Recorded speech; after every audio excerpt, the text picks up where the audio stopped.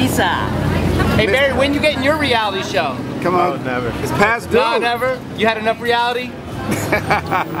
All right, Mr. Bond. Thank you, buddy. Bonds, ladies and gentlemen.